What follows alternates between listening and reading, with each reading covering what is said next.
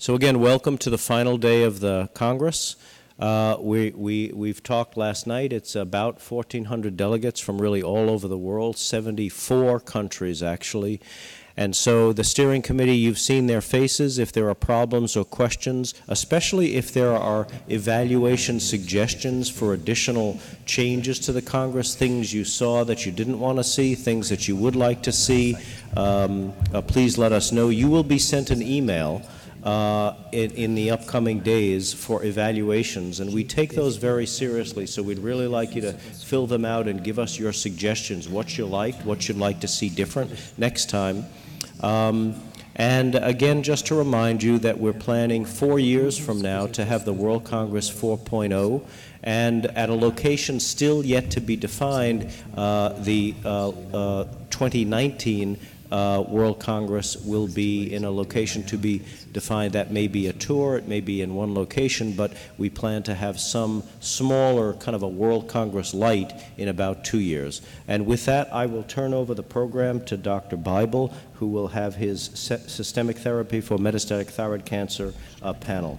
Thanks, Greg. It's a delight to be here, and uh, I first have to apologize to not the audience, but to the panelists because with the exception of one case that Lori has seen because it's her case, these are all my cases and the panel is completely uh, blinded.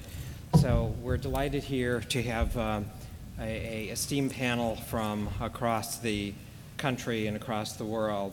So uh, Naifa from MD Anderson, uh, farthest away, and then we have Lori Wirth from Boston, the hometown uh, medical oncologist, and then Matt Ringel, who is from a little further away uh, at Ohio State, and then uh, Sophie, who's from a lot further away in France, and then I uh, am from Mayo Clinic. So we have a, a quite broad array, and you will notice that this is one of the few panels that doesn't have a surgeon on it. So, uh, you know, today we're going to talk about mainly non-surgical issues. So the, uh, I have no disclosures. Dr. Wirth has some disclosures here because she's presenting a case.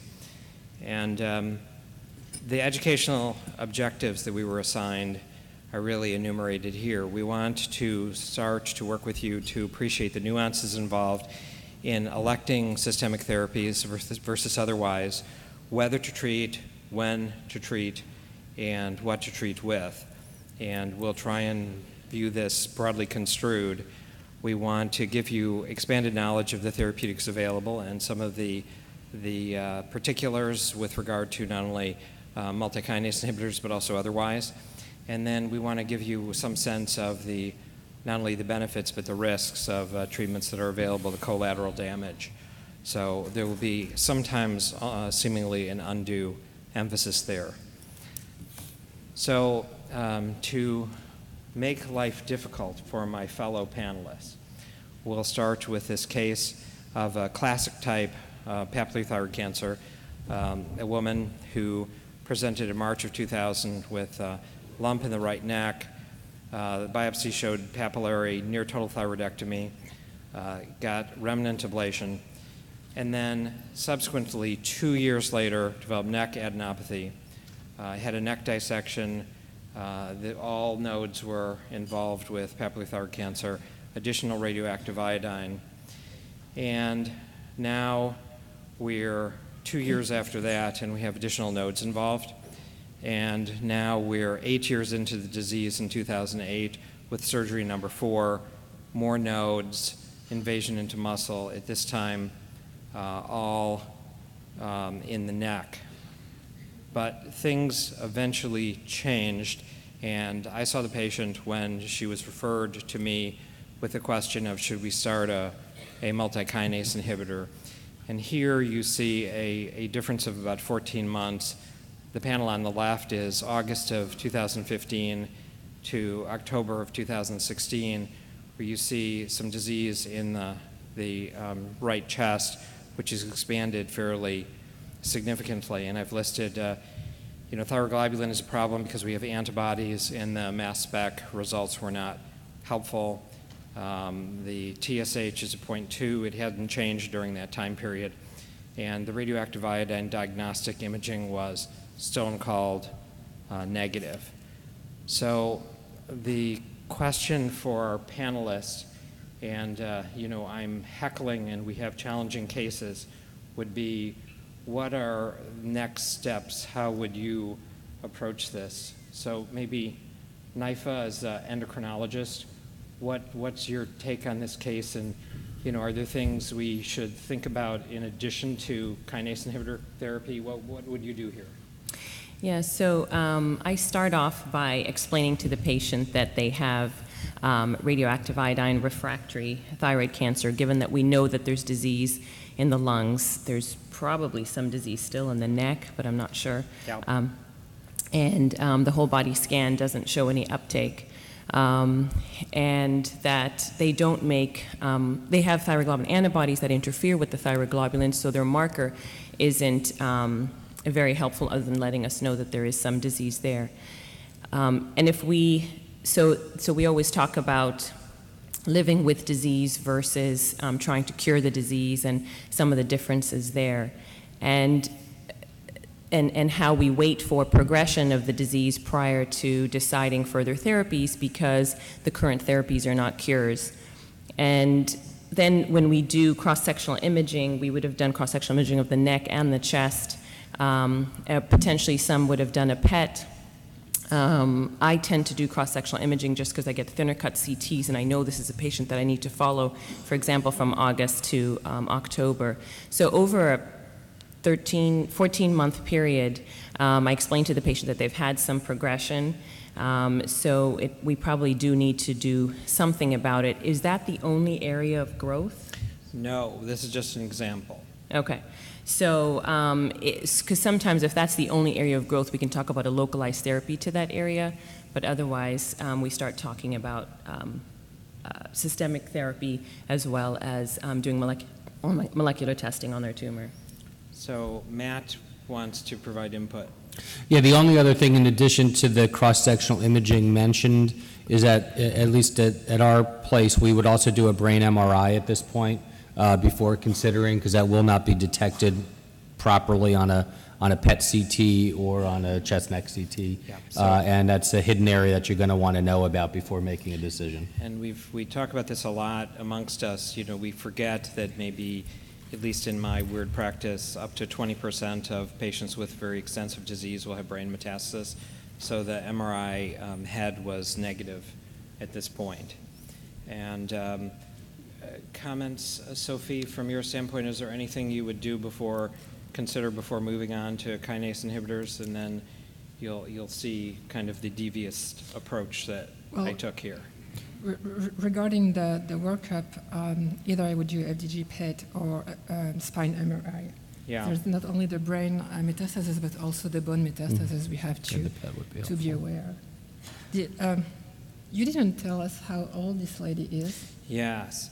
So this patient's in her 50s and she's asymptomatic. So the asymptomatic part is important. Lori, comments? Uh, Sure. I think, uh, you know, I'm thinking about two things. Um, One is um, you've got plenty of tissue from her previous surgeries. Um, So uh, until recently, I wouldn't necessarily have jumped to genotyping the tumor, but now that we have multiple uh, genotype-driven clinical trial options for patients to be thinking about down the pike, um, that's something that I am really starting to do earlier uh, in the course of treatment. I don't give them first-line TKI, wait for them to progress, and then genotype at this point. Um, and I think that the, in general, there's fairly good correlation um, uh, uh, between um, uh, primary tumor, lymph node genotype, and, and distant metastatic disease, but there isn't 100% correlation, of course. Um, she does have recurrent disease in the neck that's really readily accessible, so I'd be tempted to get a fresh bi- biopsy for genotyping uh, of that. Um, and then Okay, how's this? Thank you. I'm sorry. Um, so, what I was saying is that I would definitely want to do genotyping earlier rather than waiting until uh, progressing on a first line uh, TKI therapy. Um, I would think about a fresh biopsy of the neck because there's easily accessible biopsiable disease um, without having to subject the patient to an endoscopic procedure uh, or transthoracic uh, uh, needle biopsy. Um, and then uh, the um, I think uh, four or five years ago, I might have thought about waiting a little while longer before starting a TKI because of the balance of, of quality of life and side effects with benefit from the TKIs. Um, but I, I, have, I think, uh, begun to feel that there are a lot of data um, that suggests that earlier is better with uh, initiating a TKI like lenvatinib. Um, there are analyses of the select uh, uh, data that show that um, you get a better uh, PFS benefit uh, starting therapy at a lower tumor volume. Um, and that suggests that earlier is better. And then also, if you look at the crossover, so in the lenvatinib trial, patients were randomized to lenvatinib versus placebo, and those that were uh, and then at the time of progression, they were unblinded. Those that were on the placebo arm then were offered crossover, and a very large percentage of patients who did progress on placebo did cross over and receive uh, uh, the lenvatinib study drug that median time to crossover or progression was at four months. Um, and we saw um, that the response rate and the PFS benefit in the crossover arm and otherwise randomized patient population was not quite as good as the patients who were randomized to lenvatinib from the get go. And so, in theory, starting um, uh, lenvatinib only at a median of four months later. So I think that there are multiple lines of data that suggest that we don't want to wait too long before starting therapy. So I'd be thinking about starting lenvatinib in this patient. So, so Sophie, do you uh, in France do genotyping on all of these patients at this stage, or do you wait? We, no, I, I would genotype it uh, now. So I, I, think we have consensus yeah. here, and this is something to maybe propagate to our individual practices, is to think earlier about interrogation, at least for more readily targetable mutations, particularly in a classic papillary, we wonder about BRAF at a minimum, um, and that may be something that's more readily available than a more global genotyping. Sophie has a comment here. Yeah, I, I would definitively, um, there's another argument to, to start, uh, not without waiting too long, because the lung lesion is quite co- close to the heart, and in case, sorry, better like this then. There's another argument to start uh, TKI not without waiting too long because the lung lesion is quite close to the heart, and in case uh, the lady doesn't respond to the first line therapy, uh, we might have trouble if you wait longer. Perfect. So I think these points are all wonderful and well taken. But you know, I've learned to. I've been trained. I'm a medical oncologist, but I've been trained by my colleagues in endocrinology to dot the i's and cross the t's. So what we tend to do is we don't trust outside our RAI imaging. So we'll often um, do, you know, the low iodine diet. We'll be very conscientious and assess. That was done in this case, but um, something that really was not completely attended to was this question of TSH suppression. And I, have been sometimes surprised, as in this case, and this is where the panelists uh, start throwing uh, rotten tomatoes at me, because I figured we had a little bit of time to see what would happen if we more fully suppressed TSH. Mm-hmm. So that's what we did. So here the TSH is pretty well suppressed, but not to the point one level. So the first thing we did was to to just increase slightly levothyroxine, and we were all stunned to see this dramatic response. And we're expecting that this will not be durable because you know we know we're going to need something else. But this, you know, any little bit that can buy a little time is helpful. So this was kind of a useful starting point. And I think the question that comes up is, uh, you know, Bible, we can find one case of anything. But I have a number of patients where there has been similar um, relatively modest change in the level of TSH suppression with levothyroxine that's led to disease progression and then re- regression again. And here's a, a different uh, example of that in another uh, papillary patient. Um, so the, um, we're expecting that lenvatinib and kinase inhibitors are in the cards for this patient, but we're delighted to at least provide a little, um, a little break before we go there and add additional, additional side effects. So this is kind of the, the basics, just attend to the, you know, the thyroid cancer 101. I still think that's highly unusual. Yeah, so, um, I'm not to, so this is a question. Just So to be Naifa, controversial. Have you, um, so I guess there are a couple questions. One is if you don't uh, intervene like this, you won't see it. And so we True. have to ask that question. So have, uh, who on the panel has seen something s- of similar magnitude to this? Is this, so Matt is saying yes. Yeah, not, not super common, but, but certainly before, at least in my practice, before we would refer that patient to medical oncology or, or do the genomic testing, we would want to make sure that the TSH was fully suppressed, um, as long as the patient can tolerate it, or do you add in a beta blocker or whatever you need to do, uh, before they would, would get to you. So Sophie is already mad at me and smiling. No, So it's- do you, have you seen this kind of response on occasion? Just w- once Just in once. 15 years. Yeah. So, um, I, I would say I've, I've, I think I've seen one case as well. What, what is certainly more frequent and- and not applicable in this patient with antibodies is you can certainly see the thyroglobulin go up with less Yeah. suppression and go down with better suppression. So this is, um, a a large portion of my practice is trying to figure out how to delay the initiation of MKI therapy. So this is in that, uh, that spirit.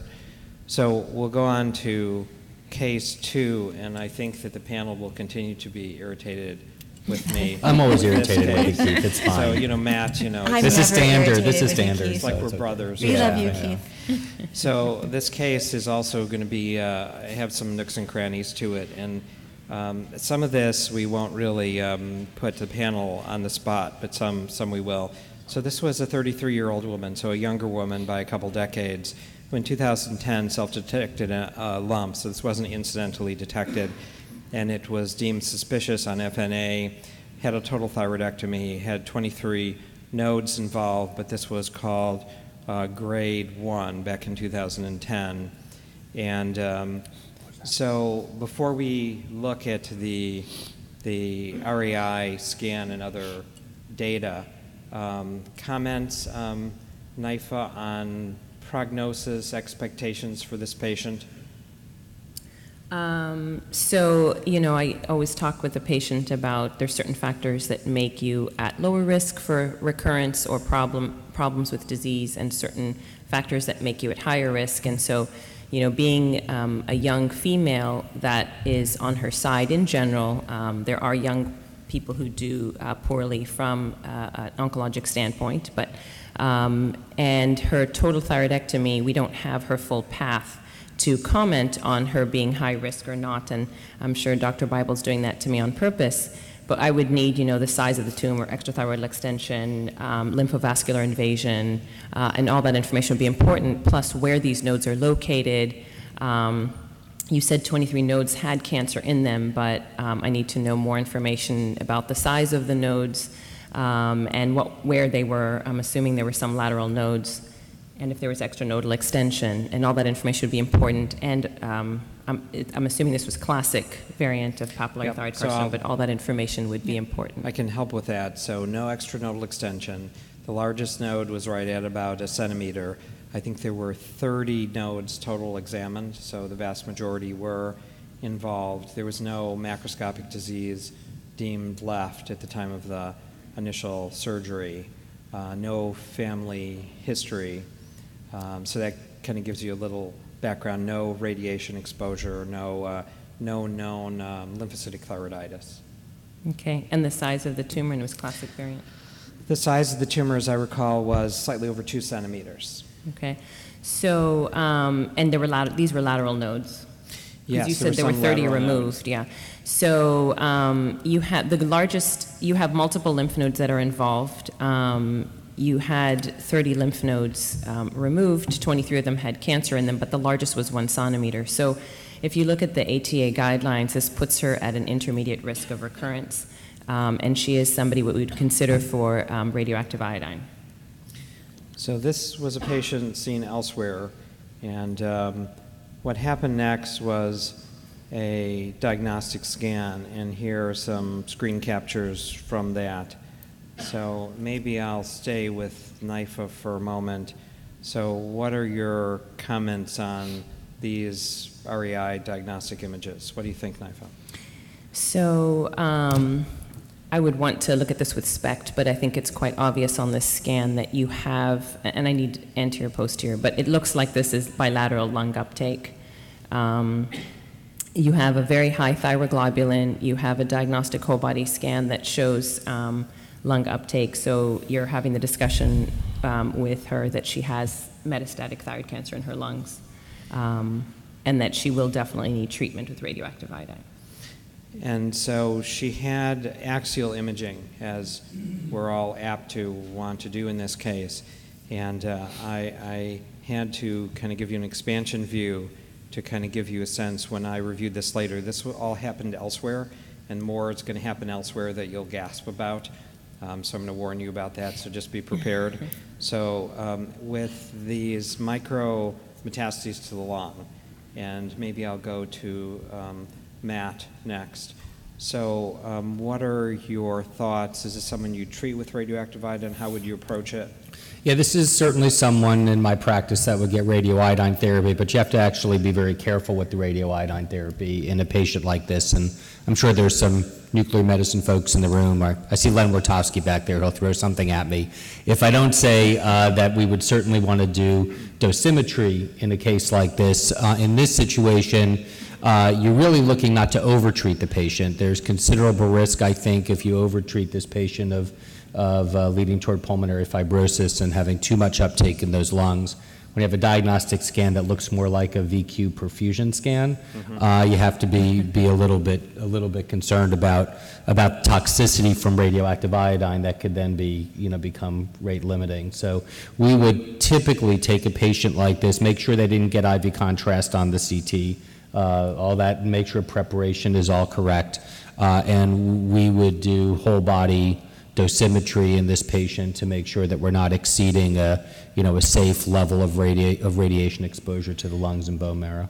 So, Matt, one question before I ask Sophie what happens with dosimetry in France. But, Matt, how long do we normally have to wait after contrast load to do imaging? What's your. Yeah, so can you guys hear Keith? Because I don't think he's into the mic. Okay, so what he's asking is, is, is how long to wait if the patient had IV contrast from this CT.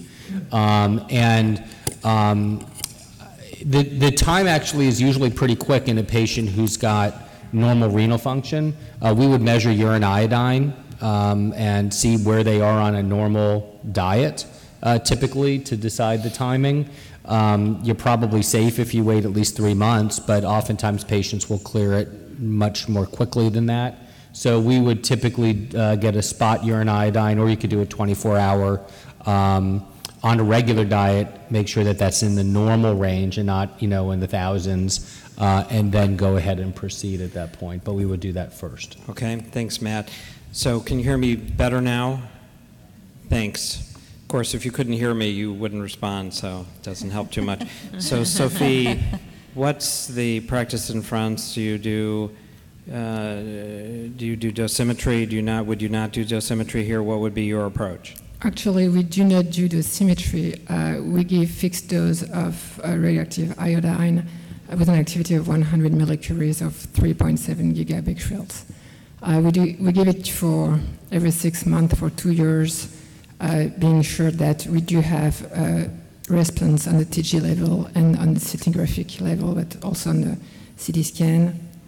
Uh, with this protocol, we have not seen pulmonary fibrosis, and the chance of this lady to be cured is about 95%. Mm-hmm. So, this patient was treated elsewhere, but look at the. What do you think about this dose of radioactive iodine, Sophie? Are you, wor- are you worried about this? Are you comfortable with this dose? You said maybe 100 millicuries yes, would be practice? We, we give 100. Well, 250, um, um, I'm sure that uh, she's going to have more secondary effects on the salivary glands. That's uh, for sure.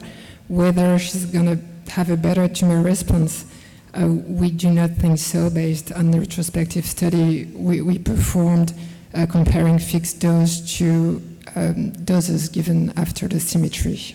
So, um, Naifa at Anderson, would you do dosimetry here? Would you not do dosimetry?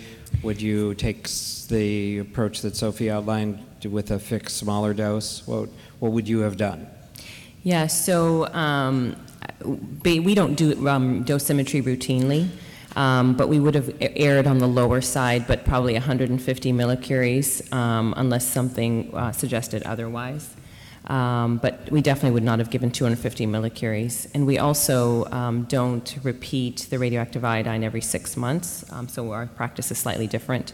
Um, We would have given the one dose and then waited to see the response and um, wait for uh, thyroglobulin to rise or um, seeing growth on cross-sectional imaging. So we've kind of covered these questions. So what happened symptomatically is the patient became dyspneic relatively within months, relatively soon after uh, receiving the radioactive iodine. She was hospitalized, and then this was her CT scan, and um, basically she was disabled and required oxygen therapy from the extent of um, her desaturation um, with any even at rest she was uh, she was below 80% saturation and so um, this is where the gas may come out. So locally she was believed uh, to have rapidly progressive metastatic papillary thyroid cancer. Um, so what do we think Lori do you think that's uh, credible? Are you as your jaw drop dropping? What what's your thought about the plausibility or likelihood of that as a as a, you know a conclusion here. Is that accurate? Is that crazy? What, what would you say? Well, so, you know, I have to say I don't have experience in uh, acute, seeing acute lung injury following radioiodine in patients like this, um, but I certainly would wonder if that's a possibility here. Um, uh, given the time course, and then the CT scan as well. Um, this is, does not look like progressive uh, papillary thyroid cancer, for sure. Um, that uh, more uh, inflammatory appearance rather than a nodular appearance um, of the small lesions growing um, is uh, not at all consistent with progressive iodine refractory DTC. Um, so I would be uh, uh, calling the pulmonologist and trying to figure out the best way to get a tissue diagnosis. so And also, uh, I'm sure that we would be starting steroids. So Matt you had mentioned pulmonary fibrosis maybe you've seen this before what what are your thoughts do we need a tissue diagnosis here are you Well, I've not seen it often. Um, I've only seen it one or two cases. I don't know that I've seen it so acutely, actually. I think I've seen it more chronically in Yeah. patients that have gotten multiple uh, dosing. Um, so I would get pulmonary involved, but I think, I agree. I mean, I think that would certainly be the presumptive diagnosis, um, but not necessarily the absolute diagnosis without at least getting their involvement and agreement. So at this time, there actually was a lung biopsy that was done elsewhere, and it was interpreted as containing metastatic papillary thyroid cancer. But it, this was the report. This was the report, but uh, Naifa and everybody on the panel. What are you guys doing? in there? I know it's not you, but what, what, what, are, like, the- what's going on in the community up in Minnesota? Yes, well, you know, it's, uh, it's, it's, it's close, but not close enough to Canada, I guess is what I would say. Yeah, it must have been Wisconsin. So, Sophie. Did you have data on the TG level?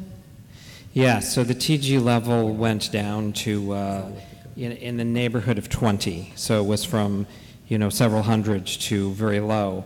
So this is a very good question because, you know, when I ended up seeing this, I was thinking, you know, this, this was uh, adding to my concern that this was a, a, a lung reaction from the radioactive iodine, especially with a micrometastasis. The patient was unfortunately started on sorafenib by her home endocrinologist. Um, but when we looked at the specimen, if you look closely, what you'd see is tiny little clusters of cells that were papillary surrounded by massive halos of fibrotic lung tissue. But the pathology re- report did not reflect this at all. You had to, to look at it. And I'm sorry I don't have that slide. And so, uh, what um, I did here, and the panel is already getting gun shy with regard to my uh, evil ways, what we did was to stop the uh, sorafenib and start prednisone, and the patient responded fairly well, but was still oxygen dependent for a number of years, but is now, you know, um, less tethered to oxygen, but it's taken quite some time to uh, see this improvement.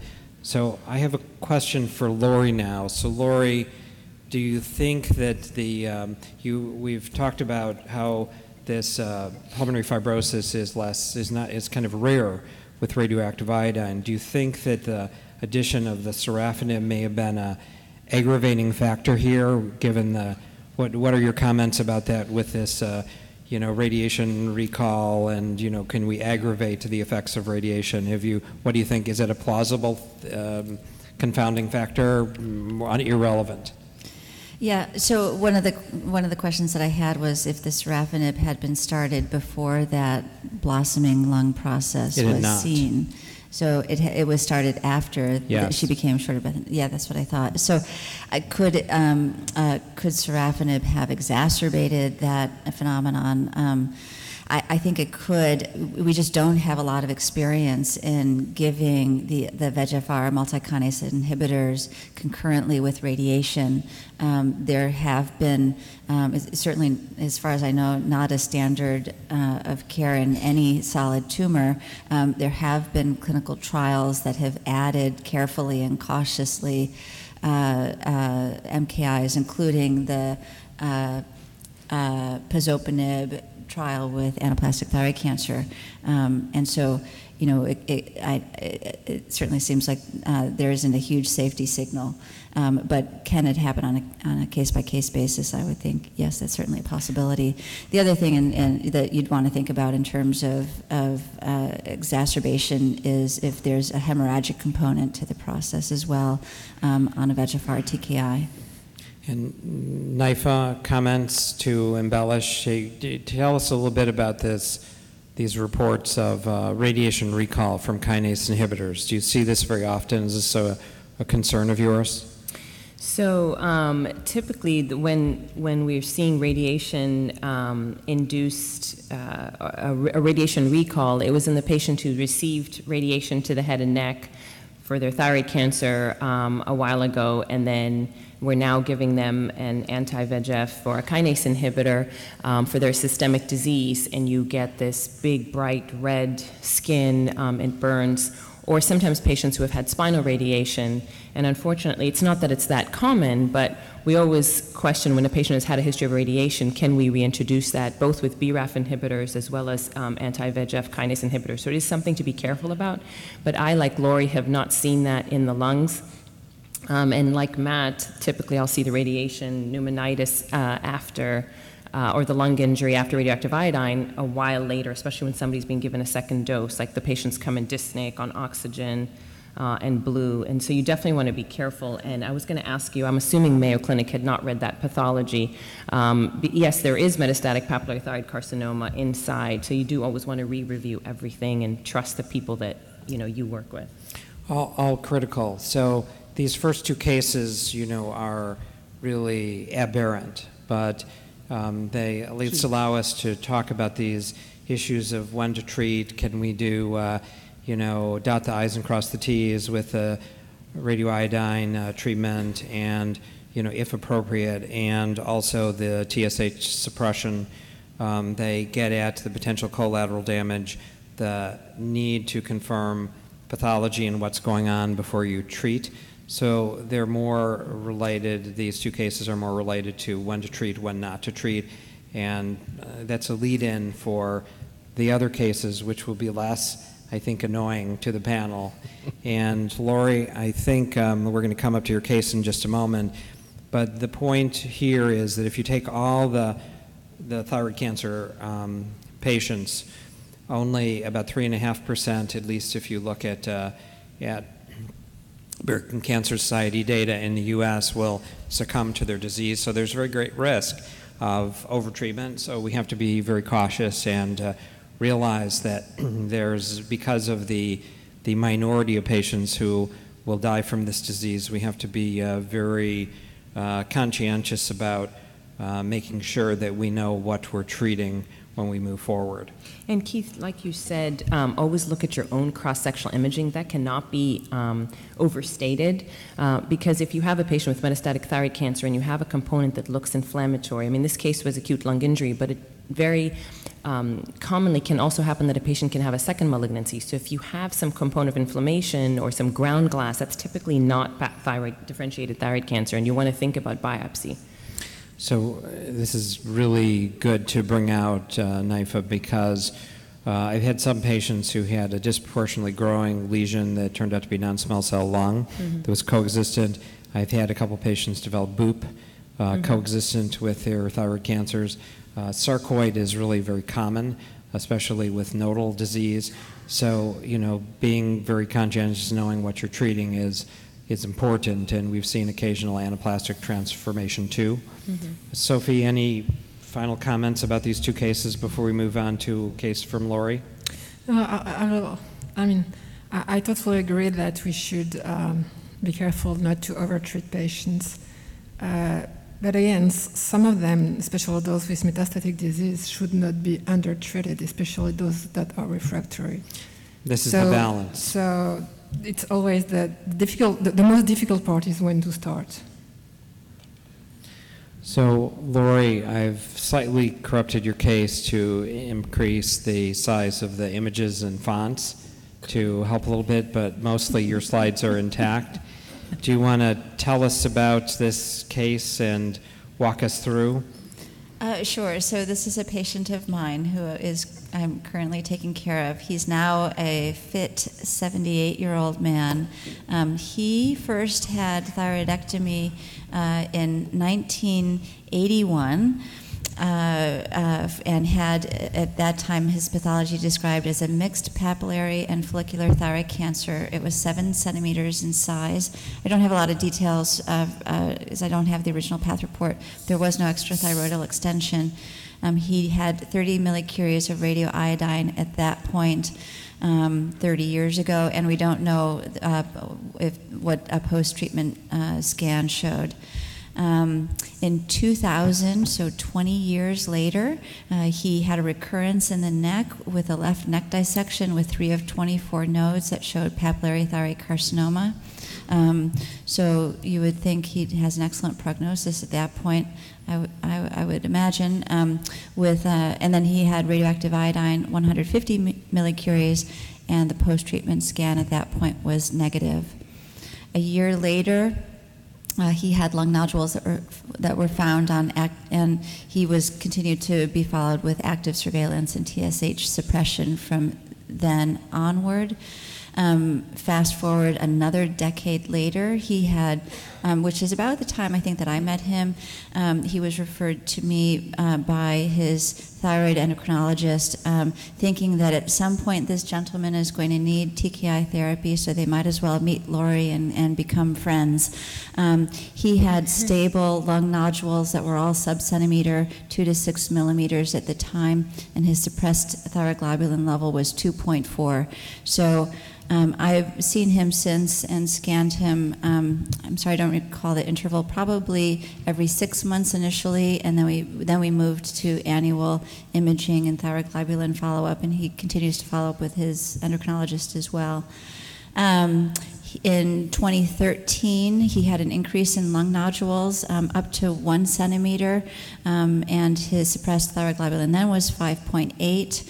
Uh, we do uh, immunohistochemistry on pathology, and um, and as well as uh, at that time we're screening patients for a clinical trial that with a MEK inhibitor, and he was found then I think by the uh, PCR to be uh, BRAF wild type. Um, again, uh, we followed him, and he remained asymptomatic and had slowly progressive disease uh, in the lung nodules, and his thyroglobulin uh, uh, continued to rise very slowly. Then in January of 2017, he showed up in the emergency room throwing up and a little bit unsteady on his feet, a little bit dehydrated. Um, they thought he had gastroenteritis and sent him home, um, but um, he returned to the emergency room a few days later feeling even worse. He had headaches, um, gait unsteadiness, and so further workup was done at that time. Uh, I have a, actually, uh, I have a question. Can you raise, I'd like to see a raise of hands. How many patients, I mean, how many people would um, see this guy in the emergency room uh, the first go-around and think he needs brain imaging? Yeah, I mean, you know, we're presenting the case for a reason, right? So- Can I comment on a few things, just so, pe- I know people are voting, but um, You didn't looking... vote. Well, I guess you didn't raise your hand, you wouldn't have done the imaging. No. So, and that's what I wanted to comment on. I mean, just thinking about common things being common, even back in 2000 and, I can't read, is it 2001? So, you know, when he had, um, he had lung, small lung nodules, sub-centimeter lung nodules, and had some lymph nodes in his neck. At that time, I still, we didn't know whether the lung nodules were, were metastatic thyroid cancer or granulomas, right? Because he hadn't had chest imaging before. So you don't want to jump in there and say, I mean, just like um, Lori's partner who was following him wouldn't necessarily have assumed that that was metastatic thyroid cancer. Um, so that would not have been the time to do treatment. And you follow them, but then you know that they're thyroid cancer once they start increasing.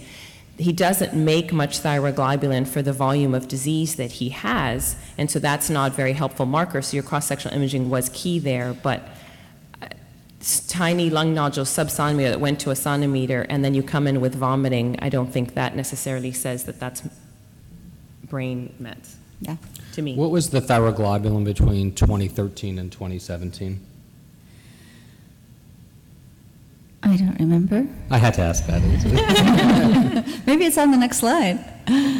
Uh, so, when he returned to the emergency room uh, with uh, progressive symptoms, he did have brain imaging, which certainly was appropriate at that time, and he was found to have a solitary 2.3 centimeter hemorrhagic enhancing intraventricular mass in the right lateral vent. Oh, there you go. Thyroglobulin was 45. So that, so that would, the so that would have gotten the brain, had- and that would have gotten the brain MRI before, uh, probably, Yeah, between so, that so time. now I'm recalling the, the details. So he actually, so his thyroglobulin had remained um, increasing very, uh, very little bit, and then uh, it had jumped. But he was also on annual surveillance at the time too. So, so did it begin to rise? If I, you know, would we have detected a rise earlier at, at six months? Probably, but we don't know for sure. Um, so the patient was admitted to the neurosurgery service. The next day, they did a right craniotomy, um, and um, and lo and behold, they did find a papillary thyroid carcinoma metastasis. Um, he then was treated postoperatively uh, with. Um, uh, uh, radiation therapy t- with 30 gray, receiving a total of 30 gray in 10 fractions. It was not a whole brain radiation, it was a focal uh, uh, radiation therapy So- that he received. Lori, I, I have a question. See, we'll, we'll have you chair for a moment and then we'll, we'll Oh, heckle. wait, no, I'm sorry, I take that back. Um, he did receive whole brain radiation because of the intraventricular um, uh, nature of the disease. So I wasn't sure if that was something that you had um, modified in the slide or. So I'm curious from other panel members, given the very long, otherwise indolent history of this disease, um, would Naifa, um, would you have treated with uh, radiotherapy or just observed for a while, given the potential um, collateral damage from whole brain? So Naifa, do you want to start? And Sophie, I think, is looking at me like she has a comment. Um, yeah, so I would have, yes, followed with radiation post craniotomy. The brain is, I take the brain very seriously. Um, so, uh, you know, a recurrence in that area post op would have been uh, very bad. Plus, there was intraventricular hemorrhage, and I um, definitely would have followed with radiation post op.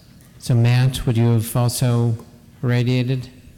Uh, Typically, yes, uh, we, we would follow with, uh, with radiation. You know, obviously, neuro-oncology and all would be involved in this as well. And Sophie, also? Yes, also, we would uh, definitively do local radiation and not at all the whole brain radiation. Excellent.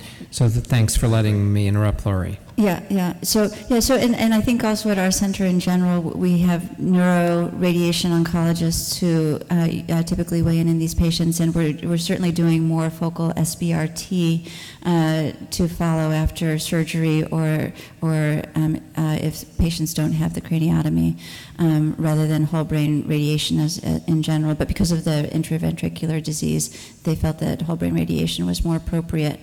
Um, because of the CSF component. And also, we can't underscore the discussion with the neurosurgeon, so the one who operated on to help us decide next steps and risk versus benefit while we discuss with them, yes, we're going to need, which is what Keith was going to, we're going to eventually need systemic therapy, and so the risk versus benefit. So would- the- Would someone consider radiation only? Stereotactic radiation rather than surgery followed by radiation? So it, I think the driver here was the intraventricular hemorrhage that probably, but in general, I agree. We have a lot of patients with, with brain metastases that we treat now with stereotactic radiotherapy without surgery, very commonly. And the, the other question maybe, was there some obstruction to the lateral ventricular wing that was causing some flow issues? So that was probably the other, but we would normally not operate on these patients, Sophie, if it weren't for those specific issues. Right, and then, yeah, so he, you know, he did have uh, uh, symptoms consistent with uh, an obstructive process. Um, And then also, I think the surgeons will, will take into account the resectability of the lesion and, and then the neurologic hit that they may or may not have from resection as well. Um, So with brain treatment, I think it's definitely not one size fits all, and, and really, you know, our, our expert uh, surgeons and radiation oncologists are very helpful in, in making those decisions. Yeah, I, I agree with Lori. I mean, I think that this is not necessarily goes straight to stereotactic brain, brain radiation. Obviously, as everybody said, it's a multidisciplinary approach with neurosurgery and, and radiation. But at the same time, we do have retrospective data that suggests that resection of a brain met, especially a single brain met, um, can improve outcomes. We, um, we need to do those studies in, with SBRT. I know a lot of us are doing that because it's easy, it's a one zap. But I do think that we need to look at outcomes data. Plus, this patient had symptoms, so I think it makes a difference in surgical um, removal. So, so uh, Mr. Uh, WP recovered very well. Um, neurologically, he was, uh, had a stay in rehab and then was discharged home. He was ambulating. He did have minimal left residual left lower extremity weakness when I saw him after discharge. Um, he then uh, uh, continued to follow up closely, and in June we did a PET CT that showed a slight increase in lung nodules and new progressive disease in the liver with new liver and bone lesions without a CT correlate. His brain MRI postoperatively uh, uh, looked great, and his thyroglobulin then was 37. So one thing I, I, that we would certainly would have done, you may, you probably did it as well, but maybe you're going to come to it, would be to uh, do some genomic analysis of the brain metastasis that was removed. Uh, we're very aggressive at our place about getting, you know, biopsy tissue of growing or symptomatic Mets. They're going to be the very likely genomically similar to what you're going to be choosing to treat as we go forward. Um, and you probably did that. We would do a more general screen, not a thyroid-specific screen typically, but a, a more general screen, uh, like a foundation medicine, or, or if you have something in, died on that. And we would, we would do that routinely on this. You're speaking my language. No, we didn't see the cases before, so. So, uh, so what's the best therapy? Um, so, so I agree that, that at this point, uh, uh, doing genomic analysis would be would be very interesting. Um, and then I, I think that that um, th- that this is a case where this is a no-brainer. This patient needs systemic therapy. So, as, as intended. it's uh, the question is is what is the best therapy? Um, and one of the uh, things I think uh, that uh, gave me a little bit of pause was, um, you know, my go-to drug um, would be lenvatinib in general for first-line uh, iodine refractory progressive DTC, but in a patient with a hemorrhagic uh, brain lesion, um, I, even though his, his MRI is clean at this point, um, um, I, I would consider that um, a relative contraindication, and I'd be very happy if I could find an alternative good therapy for him. Um, and so uh, uh, this uh, just represents the, the uh, two FDA-approved drugs that we have, sorafenib and lenvatinib. Um, both, as you know, were studied in placebo-controlled randomized trials. Um, and um, uh, this shows the results from sorafenib with a PFS uh, improvement with median PFS of 10.8 months and overall response rate of 12 percent. Um, and then we have the select data that showed a median PFS of 18.3 months um, and an, overall response rate of 65%. So um, my point with this slide is, is, as I said, I consider lenvatinib the drug of choice for first-line therapy um, because one of the lessons of life is that you don't always get second chances, uh, and that's certainly true in oncology. And there aren't circumstances where um, we would use a drug that um, has less PFS benefit and, and, less overall response rate when there's a drug that has um, better data. So, Lori, might interrupt for a second. So, Sophie, what do you think about the um, hemorrhagic brain metastasis? Is that an absolute contraindication for a VEGFR-directed kinase inhibitor? Is it relative? How long do you have to wait after radiation? What are what are your insights there? Well, um, once the lesion has been resected and external radiation performed, I think that she clearly ha can have uh, anti-VEGF treatment. Okay, and I, I, would go for it if there's an indication because of uh, other lesions. And, and Naifa, do you agree or disagree? Would you be reluctant? Would you search for another treatment, as Lori has has proposed? And you know, seems like there's a rationale. Um, so, I mean, I would have a discussion with this patient that there are serious risks, but obviously um, they do need systemic therapy.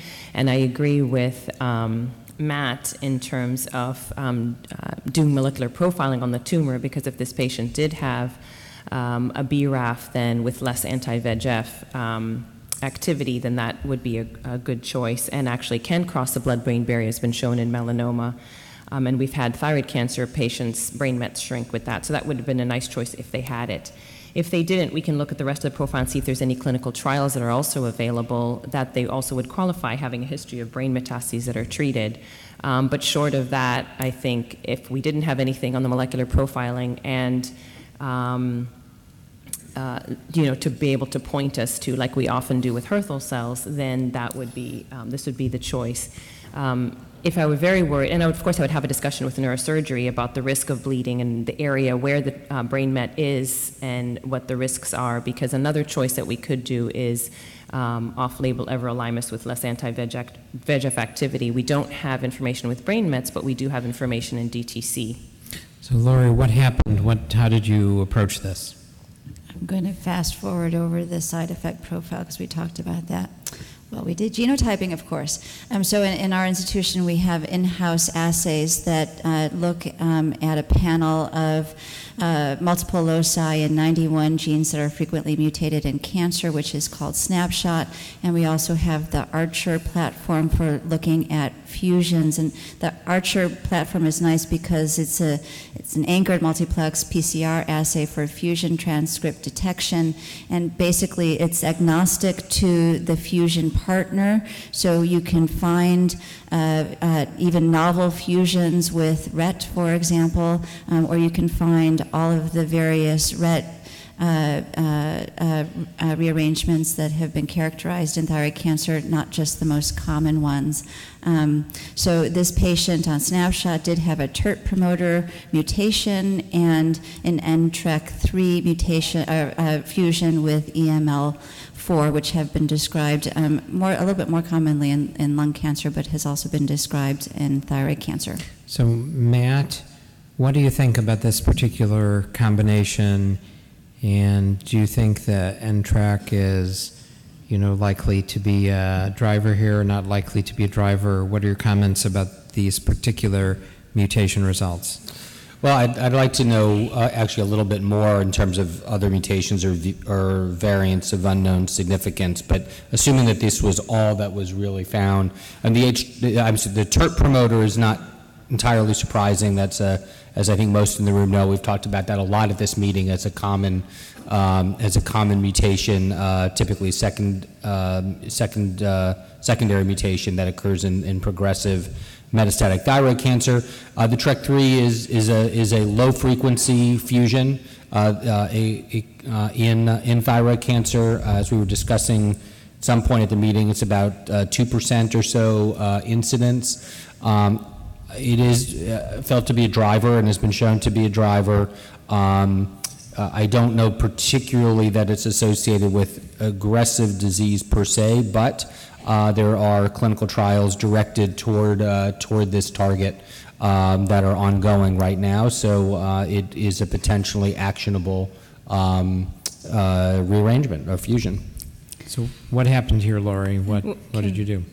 Uh, So, uh, well, so one, you know, one comment about uh, the, the, uh, you know, the, the frequency of the NTRK fusions, um, and then whether they're related with more aggressive cancers. I think we don't know the answer to know. that question don't. yet. Um, And, you know, when you see a case like this, you think, "Oh, maybe it really is. Um, But, but we don't know. Um, uh, I do have patients in whom we've identified NTRK fusions um, who have had um, recurrent, advanced, progressive disease, which is why I'm seeing them to begin with, however, have relatively indolent disease that are being followed by active surveillance. And I have a couple of other patients um, who have more aggressive disease who need systemic therapy now. Um, so, in my own anecdotal experience, I don't think that I can say we certainly just need more time. You know, if the uh, frequency is 2% in PTC, is it a little bit higher in poorly differentiated thyroid cancer? I think we don't really quite know the answer to those questions yet, and it's hard to figure, it's hard to answer those questions when the frequency is as low as it is.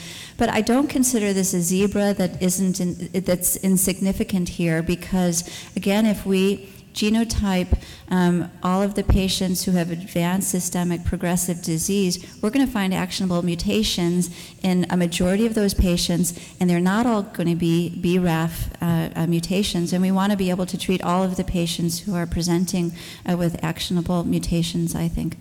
Um, so uh, this patient is now being enrolled in the Star Trek II trial um, that I talked about yesterday. This uh, trial is a, a global phase two basket trial investigating entrectinib, uh, which uh, inhibits is a multi-kinase inhibitor that inhibits uh, TRK, A, B, and C as well. Um, and as I mentioned yesterday in the phase one experience, there were 119 patients that were enrolled, and there was an overall response rate of 79 percent. Um, in addition, the reason why I chose this particular trial rather than another trial that's also available is that there are responses um, that have been seen in the CNS in three or four patients who had primary CNS tumors, as well as uh, uh, patients with metastases. So for audience members who may not attend the oncology meetings, so at American Society of Clinical Oncology, one of the more provocative reports that many people were talking about was this high response rate in a tumor agnostic uh, targeting of the TRK fusions. And so this really encouraged people to think that this is a, a viable target and this is something that you'll hear about more. It's a lower frequency alteration, but something that you'll, you'll see more in the literature as time goes on. And it, it seems to work in bone mets, at least in our N of um, three that we've put on the trial of papillary thyroid cancer. Patients, um, we initially thought it was just in young patients, but they've shown it in, in older patients, it does exist as well. And um, our three patients who have had NTRK fusions um, have, have gone on this trial and have gone from a performance status that was poor and unable to work to doing, you know, to being, and uh, to be able to work. And two of them are sustained for over um, nine months. So very important to, it, we can't underscore genotyping, finding these rare ones who will respond to therapies and thinking outside of your FDA-approved therapies. So I want to bring us back a little bit. All of these three cases we've talked about so far are unusual cases. And yet you can get a sense of the thought process behind the experts dealing with these cases. And in fact, in the final analysis, every patient is unique. So every patient is unusual in different respects. But we'll try and get maybe to a, a more usual, unusual patient. So um, we'll try and do another differentiated case and get to another medullary. I have omitted anaplastics because I think these have been covered in a panel yesterday uh, pretty well. So this particular gentleman was in his 50s, um, a physician who um, presented with papillary carcinoma, um, tall cell variant. Um, he was found in 2007, however, to have subclinical hypothyroidism, was put on replacement, but then uh, five years later developed chronic cough. Dyspnea led to evaluation in the ED, and he was found to have the imaging that you see here, which includes a, a primary right lobe tumor, which um, was the CT core biopsy was thought to be consistent with papillary thyroid cancer, and then you see lung metastases at, uh, at presentation. So, um, um, Naifa, in comparison to the patient we saw who was abused with radioactive iodine, is what's the prognosis of this patient? So, I mean, I have a couple of comments before we talk about the prognosis. Um, you know, looking at that CT scan, yes, this patient uh, does have distant Mets, uh, well, has a high risk variant, tall cell variant of papillary thyroid carcinoma, um, and does have lung metastases at, well, that's not really, is it presentation? Yeah, this is presentation. Um, but typically, when we have patients with lung metastases, even with fairly large volume, larger than what we're seeing here, they don't tend to be short of breath. So I would want, you know, evaluation of the trachea and the vocal cords and make sure there isn't something else going on. Um, or a secondary lung process if they're having shortness of breath, but especially the cough alerts you to something potentially in the upper airway. So I may get, just depending on the history, um, I, I may get pulmonary involved. But overall, um, you know, the prognosis is difficult to tell with a one shot. Um, like a one snapshot in this patient's time, but you can tell them that they're at high, that they're at high risk for um, requiring for uh, progressing thyroid cancer and advancing disease and requiring systemic therapy. But it's not something that we necessarily start now. Definitely not in a one snapshot. So um, there more information. So we excluded pulmonary emboli. So that was critical because we had similar um, consideration. Um, patient was thereafter treated with near-total thyroidectomy, 3.9 centimeters. Two of three was the outside grading, again, tall cell variant. Um, we can talk about that. A couple nodes involve vascular invasion, but we know it's distantly metastatic. And then I provided some, um, this is 600E, not 500E, and the say. BRAF, um, and TERT promoter, which are pretty typical for, for papillary. And uh, the patient was thereafter treated with radioactive iodine, and post therapy scan really did not show very much uptake.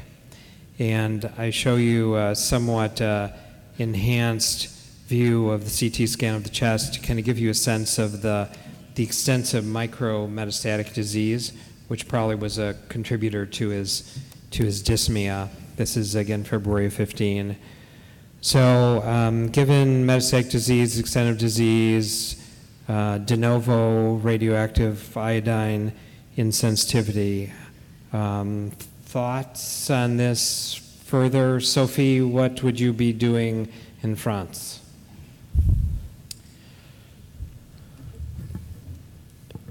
Given w- what we would be doing, I would do an FDG PET, um, uh, especially for evaluation of uh, bone lesions and see how much uh, SUVR. Uh, what is his prognosis? His prognosis is not really good, um, meaning that he won't be cured of his disease, and then he's going to need uh, systemic treatment in the nearby future. We don't have any data on the RECIST criteria in this patient, but he's symptomatic. So, what do you think about these data from Memorial that show that in patients who present with distant metastatic disease, their median survival is about five years? Is this accurate in your viewpoint? And, you know, do we disclose this to the patients? You know, what, what are your thoughts? Do you believe this, these data? No, I, I, I do believe in their data, but I think that this patient had a survival uh, under five years Yeah. uh, because of the pathology. I mean, this is tall cell. Uh, he's quite old. He's over the age of 50. Mm-hmm. I don't think he's got a survival of five years. Yeah. So, Matt, comments? Yeah, the thing with this patient that, that you have to, that, you know, for the audience to recognize, and I can't remember the actual size of those lung metastases, but they may not qualify for quote clinical trial because they may not meet RECIST criteria if everything is less than a centimeter, but this patient looks like they've got lymphangitic spread of their tumor throughout their lungs, and that's why they're symptomatic. And so this is why adhering strictly to RECIST criteria just is not clinically the right way to go all the time. And, and, and I would agree that with no therapy, you know, the shorter prognosis would be typical, but this patient does have a, an actionable mutation uh, based on that screening. And, and we have seen some fairly dramatic responses to, to, to that. So while I, I would certainly tell them their prognosis, I would certainly image their brain as we talked about as well in this circumstance. Um, and, and, you know, the PET, especially to look at the bones, I think would be really important.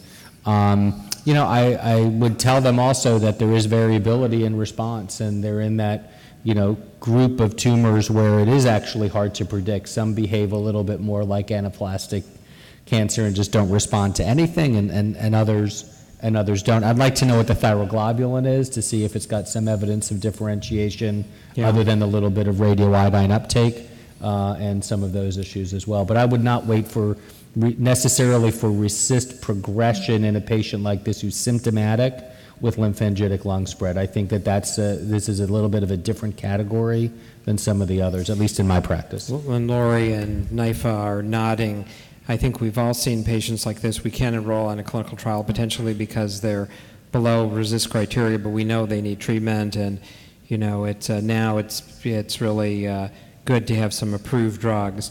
Now, the BRAF V600E mutation, um, there are a couple questions. So, um, Lori, can you tell us about V600E BRAF mutation versus other BRAF mutations? Is there a difference? Do they all respond to BRAF inhibitors?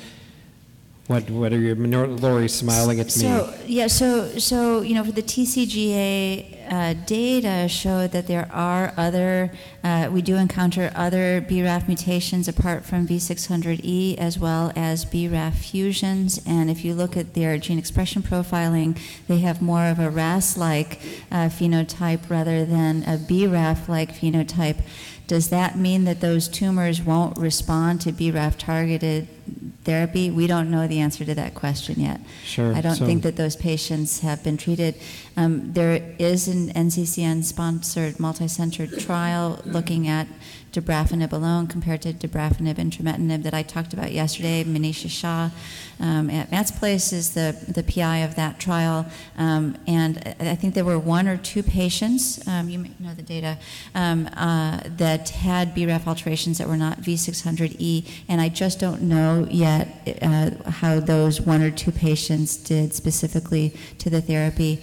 Um, but both the single agent and the combination showed a response rate of about 50%, 54%. Um, so that is a treatment option, um, though I don't know that. Um, you know, I don't. We don't know what the right sequence is. Should they receive a, dru- a VEGFR TKI like lenvatinib first and reserve uh, the BRAF-directed therapy um, as a second line? Um, dabrafenib and tra- trametinib are not FDA approved for the treatment of thyroid cancer. Um, we, we happen to be able to have pretty good luck getting access to the drugs, particularly if there isn't another therapy or they have progressed on a TKI, on another TKI. So here's what happened, and um, logistically, there are a couple issues here. One is, uh, you know, we really would benefit from randomized data of VEGFR versus BRAF, but the absolute response rates are lower to BRAF inhibitors in the 30, 40 percent versus pazopanib, lenvatinib, 50 to 65 percent range. Um, the other extenuating circumstance here is because of the patient's net worth and his being a physician, he could not get off-label approval to um, get patient assistance program.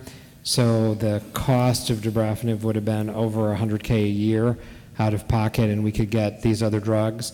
So he was first treated with pazopanib, and this is where uh, things take some interesting turns. So really nice response, but what happened is this patient developed some eye visual problems, and uh, we, Matt and I had talked about this earlier today. I tend to be aware of the potential for choroidal, for retinal metastasis. Uh, we have very good eye folks who are very good at identifying these with ultrasound in this case, and they're probably more common than we think. Uh, almost every time I think of them, I, I see them 50% or, or more. And um, the, uh, this led to a question of is therapy, should therapy be changed? And so one of my colleagues felt, well, you know, this is disease progression, maybe we should change therapy. So what happened was the patient was changed from pazopanib to lenvatinib, and what you see is that there was a response to lenvatinib, but was relatively short-lived. And then what I show here is a plot of the different treatments the patient received over time versus therapy. And what we're looking at is uh, amylase and lipase. And the patient developed a abdominal pain radiating through the back, went to the emergency room, was found to have acute pancreatitis, um, was treated for this, and this occurred on lenvatinib therapy as it turned out. So do we see, how often do we see pancreatitis? Do you, you know, in, in Rochester, I'm conscious of this, and I always get lipase and amylase, at least early on. Does everybody do that? Do we not do that? You know, what's your, Naifa, you're smiling. Do you, do you see this? Do you worry about it? So, I mean, we always worry about everything, but um, we were seeing a lot of chemical pancreatitis. So, we used to measure amylase and lipase in everyone, like they did in the clinical trials originally. And we were seeing a lot of um, rise in amylase or rise in lipase or both. And we would refer to GI and say, what's going on? The patient's asymptomatic. You know, you, you do a, uh, you proper clinical exam and symptoms, and they don't have any symptoms. You, uh, in the beginning, we were adding CT abdomens, and there was no evidence of any pancreatitis, sending them to GI. And so they were saying, just continue your drug. This is a chemical pancreatitis. We're seeing it more and more. So we've actually stopped just routinely measuring it, but definitely if a patient has symptoms, we're taking it seriously, holding drug and measuring not just amylase lipase, but looking for. Um, what's the hole in the abdomen called? So we, we Perforated see the viscus. same. This patient was Perforated viscus. pretty clearly symptomatic, so that kind of changed things a little bit. And so then the, the next uh, peculiar thing, you're seeing a lot of peculiar things today, is that we pose the question since we tr- were able to treat focally the choroidal disease, we flip it back to pazopanib, and the patient has gotten a second response, interestingly, and is not having problems with uh, pancreatitis now. Matt wants to comment. So in retrospect, I was going to ask this at the time, uh, why did you conclude that it was progression on pazopanib? Did you have a Yeah. baseline choroidal image before? Because I, I may have been a little Yeah. hesitant to take him off with that kind of a dramatic Or lung he have eye response yet symptoms? first. Yeah, so the patient had eye symptoms. There was no baseline imaging. This was one of my colleagues. This wasn't. So, I, as most of us balance. know, you know, focal progression, I probably would have continued treatment and treated focally. It's a mixed but- response sort of thing. Yeah, and in between here, the patient received axitinib, which he didn't respond. He progressed in less than two months. Um, so you see how aggressive the disease is, how responsive it can be, how peculiar it can be. It can metastasize to sites you don't think about. The choroid is, you know, the uh, eye folks um, tell me that this is the most vascular, normal structure in the body. So metastases are probably missed pretty frequently. Um, so this is just kind of a peculiar variant that maybe we should be uh, sensitive to. And then there's this question of re-challenge. So Sophie, this is a lead-in to your study in in France, maybe where you're comparing continuous versus interrupted pazopanib.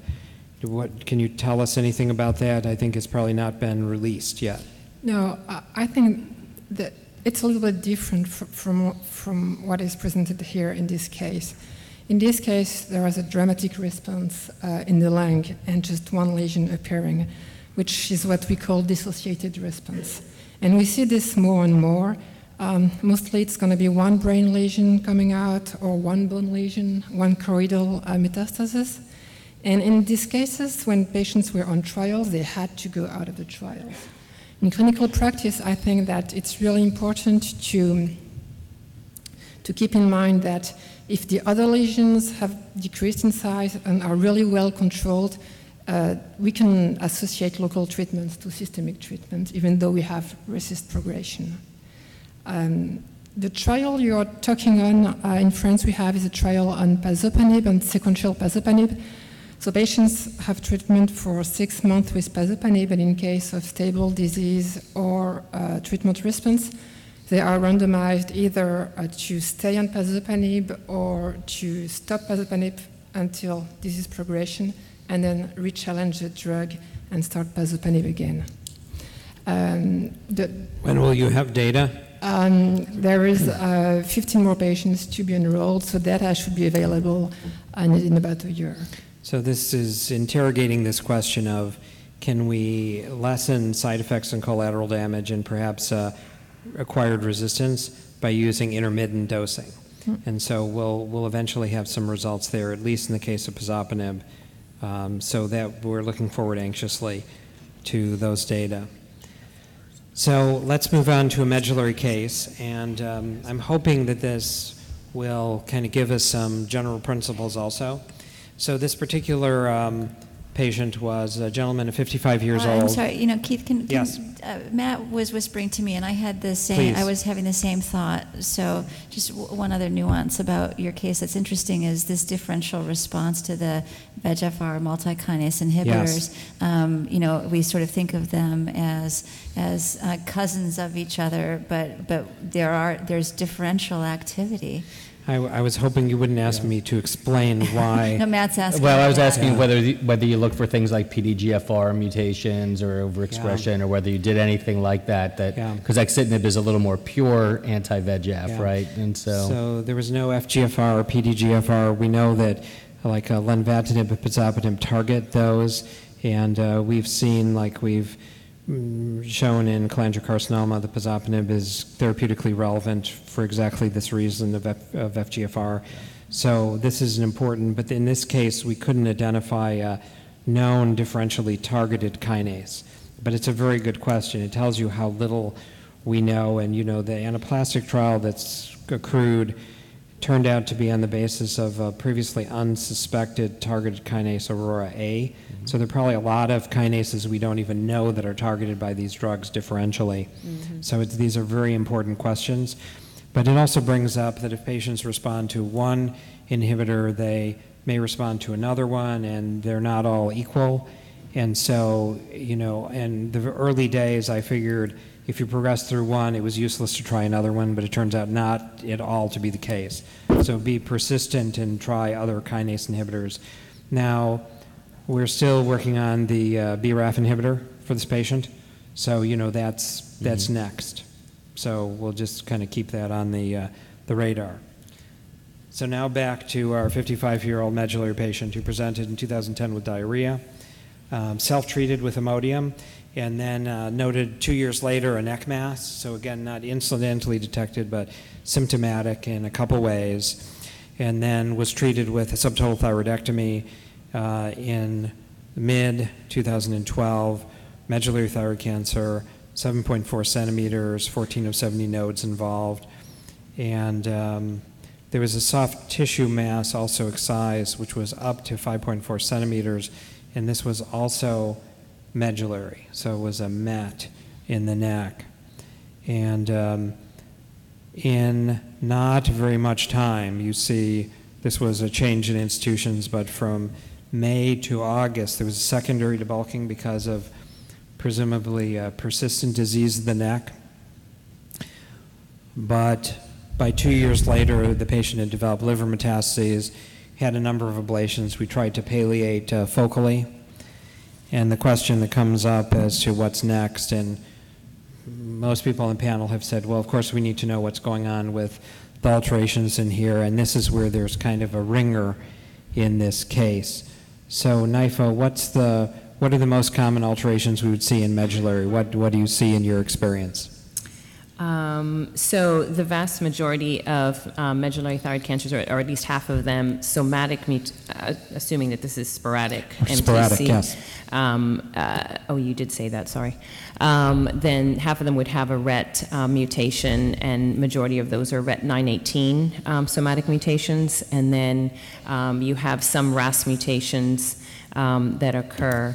Um, and then there's some, um, uh, some other mutations that can occur that are random, like randomly you'll see a BRAF, which is not typical for MTC. Um, and so he has an HRAS mutation um, uh, in his medullary thyroid cancer, which potentially could drive um, systemic therapy if he needed it. I need more information to determine if he needs systemic therapy, such as his calcitonins and his cross-sectional imaging and progression over time. So, not being an endocrinologist, you know, I omit things like CEA and calcitonin sometimes. So, apologies for that because I'm looking at anatomy sometimes. So, calcitonin CEAs were rising, and um, we talked about, you know, the the ratio, the CEA was relatively higher than we'd often see in better behaved disease relative to the calcitonin. Um, liver mets were evolving, and we're talking about how this HRAS alteration affects your thinking. So, traditionally, you know, vandetanib and cabozantinib have been approved uh, presumptively on the basis of the RET targeting, but uh, Sophie, um, I'm asking a dangerous question here. Do you think it's the RET targeting that's mostly important, partially important? Is it VEGFR? What are your, what's your take? Is it worthwhile trying a, you know, vandetanib or cabo in a patient like this, even though they don't have a RET alteration? Yeah, I think it, it is worthwhile uh, trying it, but the answer to your question uh, uh, might be available once uh, we have results of the trials with uh, anti-RET drugs. Um, uh, because effectively, um, we do have effect with vandetanib and cabozantinib, even especially on the PFS. On the overall survival, things are more difficult to evaluate, but um, So we, we, we need to test anti-ret, pure anti-RET drugs to answer your question. And fortunately, we have those on the horizon. So we're expecting within the next year, there'll probably be trials um, where we'll start to maybe get some answers on a more selective RET inhibitor uh, outcomes in medullary, but maybe not so relevant to this patient. So the question is, um, you know, what about options? And here's a list of a bunch. And we contemplated options. And in this case, because there was a time limited clinical trial, which was a good thing that we at least avail the patient to this because the thyroid segment, I think, has since closed to accrual. This is a run through uh, Memorial, and it's using tipifarnib as a way to try and target these HRAS altered tumors. We treated the patient with this approach, and what you saw is that it was kind of a, a slow uh, burn in terms of the RECIST progression.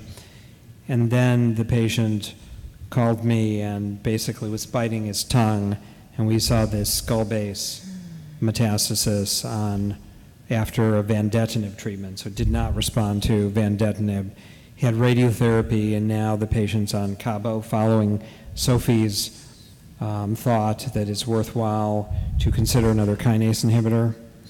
And um, so, um, Lori, I'm, I'm picking you, hoping that I'm increasing the probability of the desired answer here, so we'll see what happens. So, what if we exhaust all the kinase inhibitors?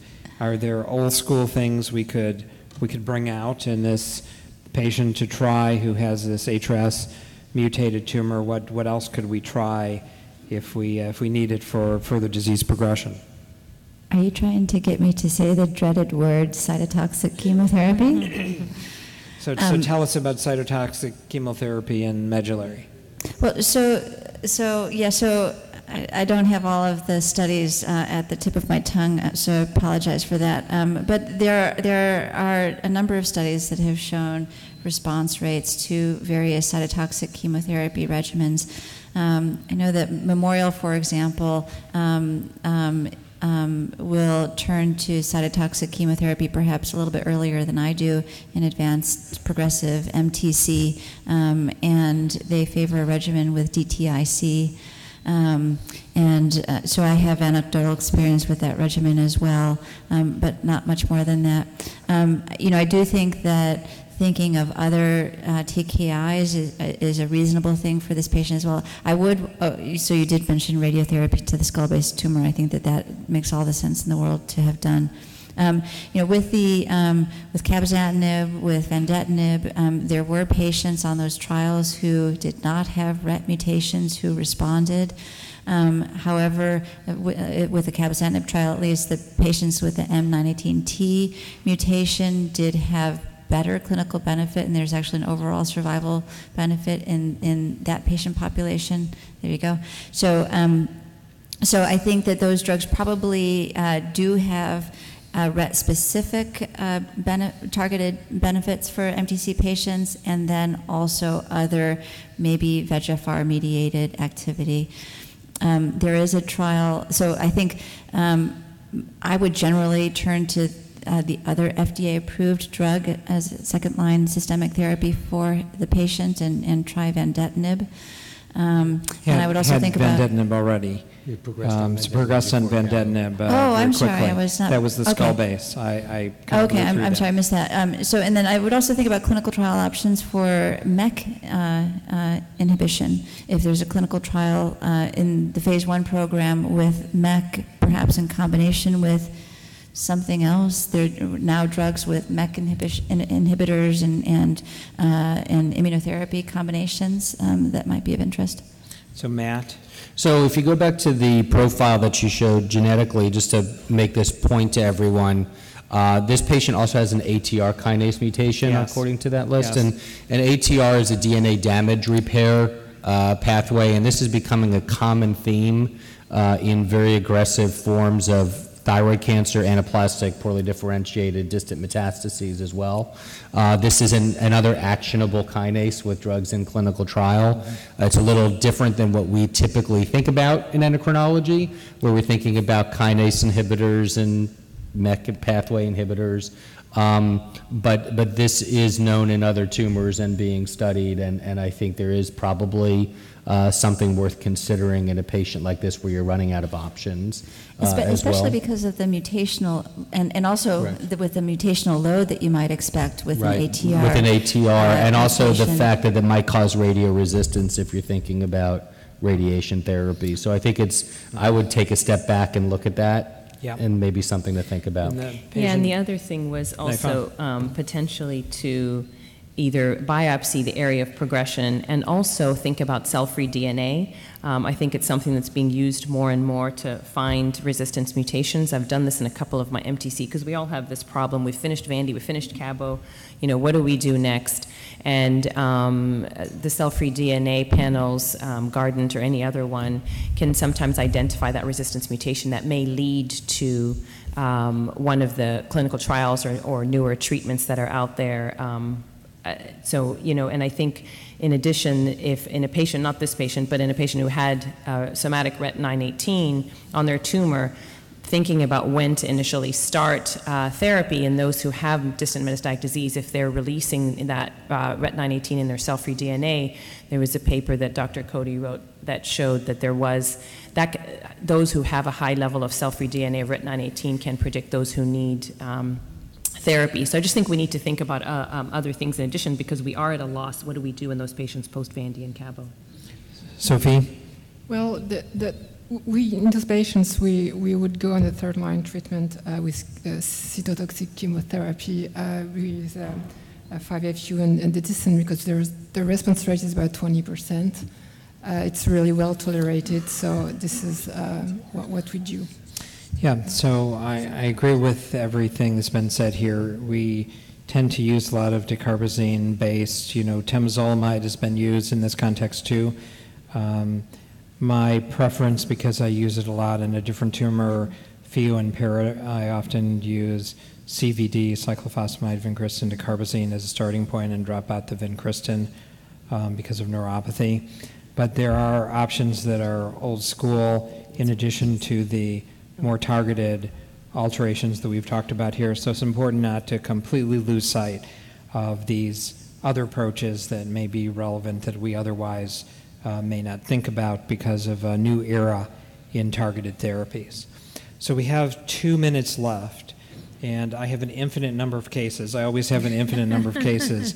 But let's maybe pause for a minute and see if there might be any questions from the audience about this general arena. And what I've tried to do is re, you know, assemble cases that really were non-overlapping with some of the cases that were otherwise presented in other forums. Um, so are there any, any questions from the audience? Greg has a question. So I will paraphrase. So Lori, this calls for speculation on the part of the witness, as they say in the court of law. So um, do you, what's your guess? Do you think this is, uh, you know, an acquired mutation that occurred on an island, uh, Madagascar, to create those peculiar creatures? Or do you think this was a subclonal, you know, uh, variant that was there from the start but just manifest late? Why did this patient have brain mets and most patients not in a similar long disease trajectory? Yeah, so, so Greg, of course, uh, asks an unanswerable question. Thanks a lot, Greg. Um, the, uh, no, so, I mean, we sort of learn in uh, your first year of oncology fellowship that the that really the distant metastatic disease comes from the primary tumor. Um, so when patients uh, uh, worry about distant metastatic disease, um, um, you know, we try to explain it, with a nodal recurrence in the neck. We try to explain that that doesn't really uh, necessarily impact on that. We don't really know the answer to that question. Um, there, there, you know, are tumor models that uh, that suggest that that isn't. Uh, the only phenomenon in terms of, uh, of hematogenous metastasis. And you know, if you think about it, it probably makes sense that tumor cells can get into the bloodstream from other sites of disease as well, um, particularly supervascularized sites like the liver. You know, you, you may not have as much metastatic potential from nodes as you might from bone metastasis, liver metastasis, et cetera. Um, so, but you know, I think that. So, I'm not going to answer that question for you. Um, but you know, one of the that case for me is is um, you know is a cautionary tale um, that um, thyroid cancer is not a good cancer, and it never is. Um, and that even when we think it's a good cancer, uh, we do have to um, uh, be on the lookout uh, because it can be a cancer that that un- has a very long natural history and can unfold over a patient's lifetime. So I'm indebted to my colleagues Naifa, Lori, Matt, and Sophie for being tortured by such convoluted cases and being good sports as well as experts in informing the discussion today. I hope you'll join me in thanking the panel. Thanks very much.